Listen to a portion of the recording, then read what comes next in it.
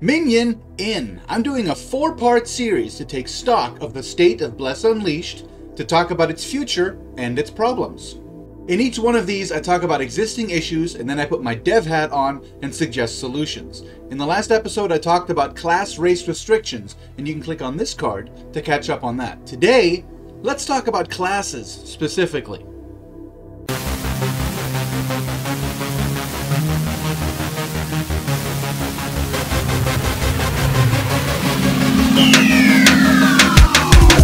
Come for the game, stay for the commentary. But a baby. Let's do that. Let's talk about classes. One of the greatest points of pride for Bless Unleashed is that it doesn't have the Holy Trinity. By that I mean the tank healer DPS constellation. I think an enormous mistake was making that type of game with two classes that make everyone immediately think tank and healer.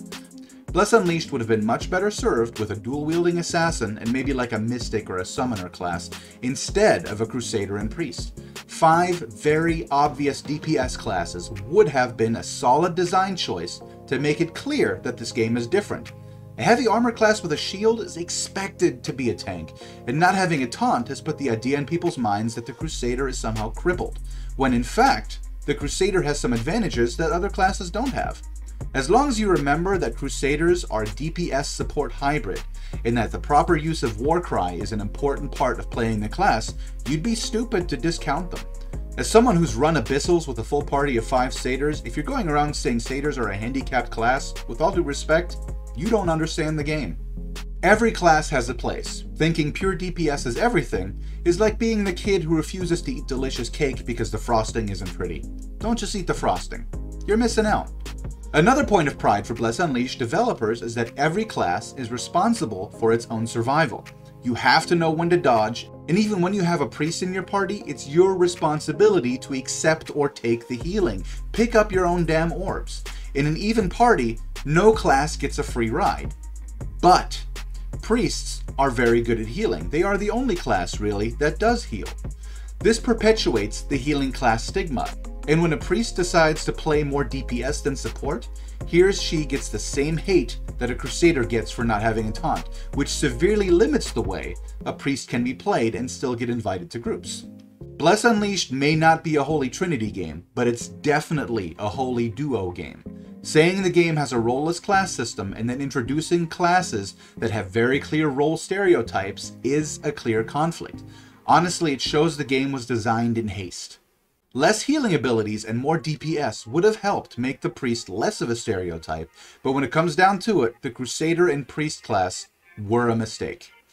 A class like the Crusader should have had a taunt, but the way aggro works in this game makes that impossible, so it's not something you can go back and change anymore. That bridge has been burned, and kind of painted the Crusader into a corner. Along the same lines, you can't undo the damage you've done to the Priest class. You created a healer class and completely screwed one of the game's primary USPs. But removing Priest heals now would alienate them. I want to make my standpoint on this clear. Roles are old news. Bless Unleashed never intended to have them, so if you're out there shouting about how priests should play their role, or if you're PKing priests for not healing you at field bosses, then you haven't been paying attention. Things are changing, and you're too slow to keep up. Priests don't owe you a heal. Rangers don't owe you a mark. Zerks don't owe you a defense down. It's not anybody else's job to make you play better. That's your job. Focus on your character.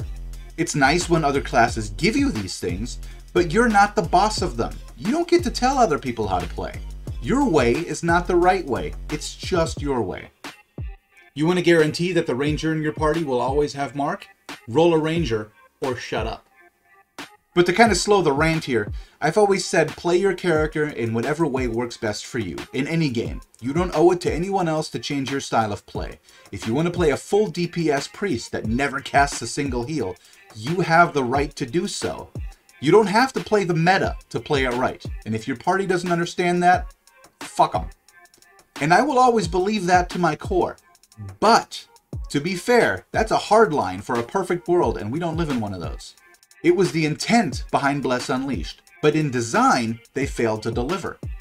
Priests were designed and created as a support DPS hybrid class. If you're not healing, you're not using your class to its full potential. And if you want to play a pure DPS caster, roll a mage. Same with saders. If you're not buffing, you're selling yourself short. In a way, every class in Bless Unleashed has a handicap. Zerks are slow and clunky. Mages are squishy. But honestly, I think the Ranger gets the biggest shaft. Hear me out. Every class has two default secondary skills. Saders start with Shield Throw and Guard. Priests have Consecrate and Retribution. Zerks have Rage and Shoulder Strike. Rangers get Tempest Shot and then...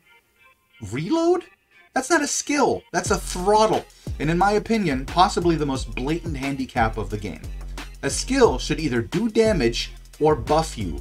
Rangers become completely useless at regular intervals until they use reload, which only does one thing, and that is unlock their ability to attack.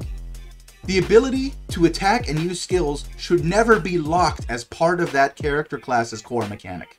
Reload should be an optional and above all beneficial mechanic that buffs your attack power for a short time when used, and you should never run out of arrows.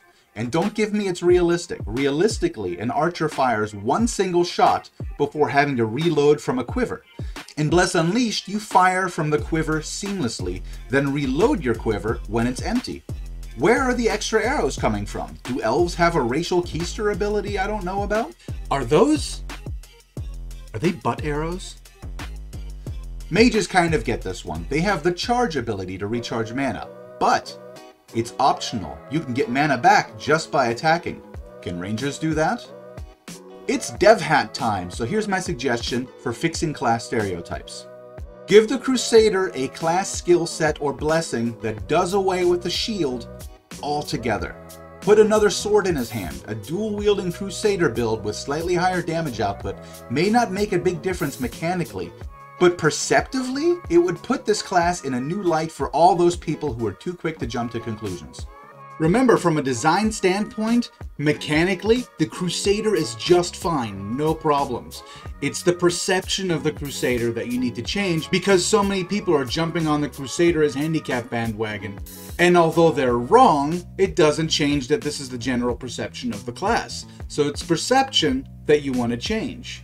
Keep their abilities focused on single target DPS. Don't take the AoE advantage away from Berserkers, but make the Crusader both visually and mechanically a more adaptive damage class. Priests need something a little more radical because unlike Crusaders, they actually fit neatly into the drawer people think they should be in. Give Priests a blessing that has no healing abilities whatsoever and make it so good that it puts them on par with mages. Give us Glass Cannon Priest builds a major problem we're having is that many classes have what is generally considered the right build. And while I think that you should be able to play your character the way it makes you happy and you can still be a valuable contribution, I'm the minority here. So not using the right build will get you penalized by other players. A priest DPS build would have to be a very obvious damage setup to counter the conception people will be quick to have that a priest without heals is basically castrated. What you want is something so good that people in pickup groups go, oh sweet, we have a damage priest. One last thing since we're on classes, because this particular question is on everybody's mind. It certainly comes up a lot. Can we expect to see a new class in the near future? I get asked this all the time. Maybe an assassin. The rumor is that this will happen pretty soon, but let me get you this answer straight from the horse's mouth. Maybe adding classes, I don't know soon, but in the near future, maybe next year, two years, or three years. So keep your eyes out. This has been part two of my State of the Game series. Stay tuned for part three, where I talk about branding and level syncing. Join my Discord to be notified when that drops, and remember to like and subscribe. Minion out.